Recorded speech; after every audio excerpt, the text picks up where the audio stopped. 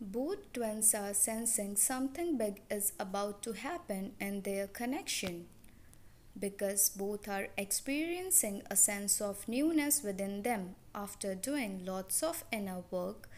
Divine Feminine has become more grounded and developed a positive attitude towards life and upcoming blessings.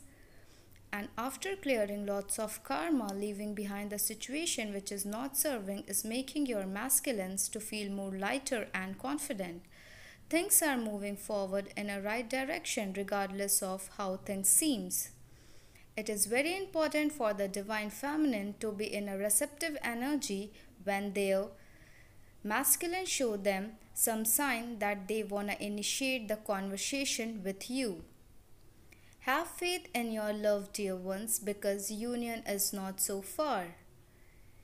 Keep your vibration high, have positive affirmation for your love and life. Subscribe for more upcoming channeling from DMDF channel love letter from your counterpart, your person current thoughts and twin flame concept. Thank you dear soul family.